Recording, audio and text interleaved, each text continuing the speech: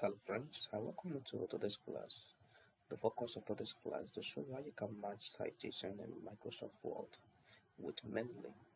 Now take note of these two the citations I've already done. What I have to do it, uh, I need to match these two citations at least for you where presented they are right up. Now check this under references Word document insert citation you take note of that. So by the time what you have to do now is highlight these two citations take note that it has changed to match citation. So click on it.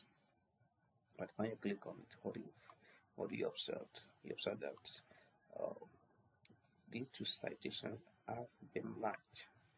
So this is how you can match citation in document word document with Mendeley so actually at everything you can check.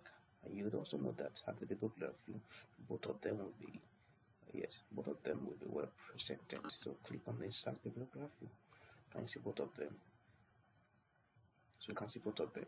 So this is how you can match citations in Word documents with Mendeley so if you are here to subscribe to this channel you kindly hit the subscribe button and also click on the alert so that you can click on the bell so that you can get alert as such going to upload. You can also share it to your friends so that they can benefit from the content of this channel.